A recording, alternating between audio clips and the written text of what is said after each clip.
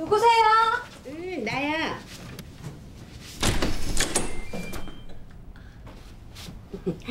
어떡하기로 했어? 웬만하면 내가 좀 더 기다릴 텐데 너무 힘들어 먹고 살기.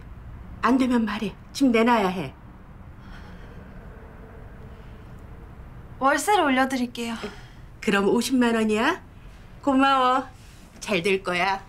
파이팅!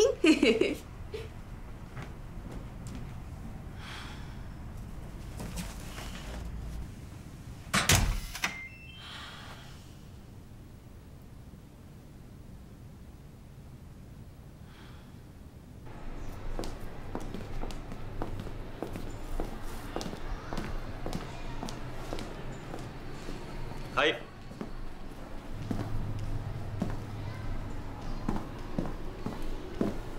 뭐가 그렇게 좋니? 싫을 일이 없잖아.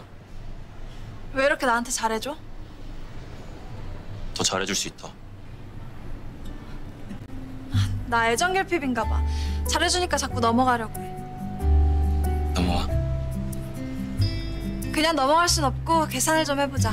내 몫이 3천이라는 게 말이 돼? 아파트 10억이라며. 너윤아, 불공평한 것 같아. 1억은 줘야지. 너 진짜 대단하다.